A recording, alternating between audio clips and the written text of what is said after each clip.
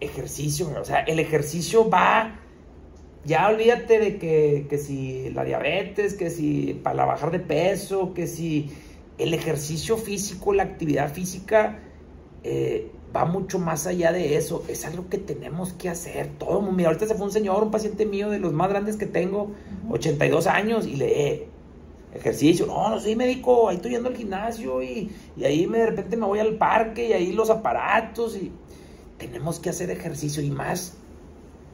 Ahora sí que te llevo 20 años, mujer. O sea, eres una chavita.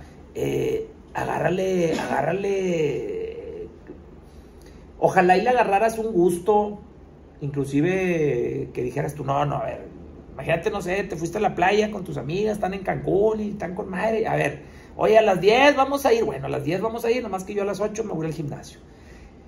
Lamentablemente la gente es mucho de pensar de, ay, qué hueva, o sea, estás de vacaciones y tú, es que el ejercicio es como, ay, qué hueva, estás de vacaciones, no te bañes. Ay, qué hueva, estás de vacaciones, no comas ay, qué hueva, estás de vacaciones, eh, no duermas. El ejercicio es algo, tienes que hacerlo. Y quiero que lo veas así porque eso te va a ayudar a llegar a tu peso, eso te va a ayudar a tener un mejor eh, control del azúcar, eh, mayor formación de masa muscular, mayor sensibilidad a la insulina, te vas a ver con madre. Pero trata de, como dice Miguelillo, palomeala, güey. Yo a veces, créeme, no todos los días me despierto con la canción del Karate Kid y, sí, güey, vamos a entrenar. Hay veces que, ay, cabrón, y me esperan días, pues, complicaditos por, por el bebé y ahí en la noche, ay, en la madre, güey, a lo mejor no voy a dormir también ese día y, y Chihuahua y, y pero tengo que venir al día siguiente al ejercicio. O sea, en verdad, fíjate que, que Ah, estuvo. Ah, ya. Eh, estos días, mira, por ejemplo, en verdad, viernes, o sea, obviamente, pues no, no, no fui al gimnasio, sábado tampoco y domingo tampoco. O sea, no hice ejercicio viernes, sábado y domingo. Hoy ya fui al gimnasio, ya, ya retomé. Y me puse a pensar y dije, o sea, si hubiera podido ir al gimnasio.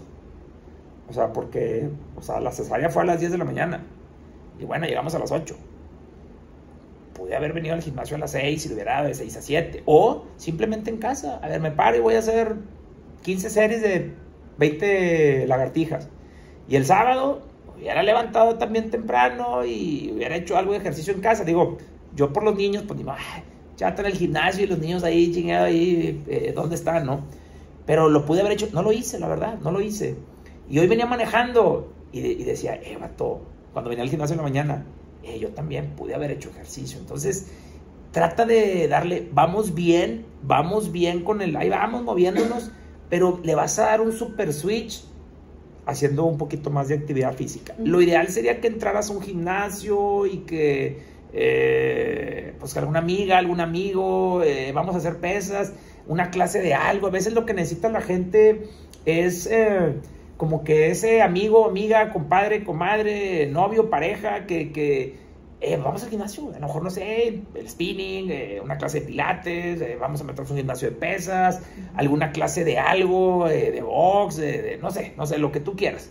Pero sí necesito que hagamos ejercicio. Vas bien, se movieron los puntos, bajaste la circunferencia abdominal, bajaste la cadera, bajaste la grasa visceral, la grasa corporal, perdiste peso, o sea, ahí vas pero le vas a dar un super switch si agregamos ejercicio. Y recuerda, el consumo de proteína es bien importante. Entonces, ya sea que desayunes, comas y cenas, siempre en las tres mete proteína y no la pichicates de que pues me comí dos huevos, no, o sea, cómase cuatro, que me comí una piernita de pollo, no, corazón, cómase medio pollo, eh, en la noche pues me cené un sobre atún, no, cenes tres, o sea, métele más proteína y duro con el ejercicio.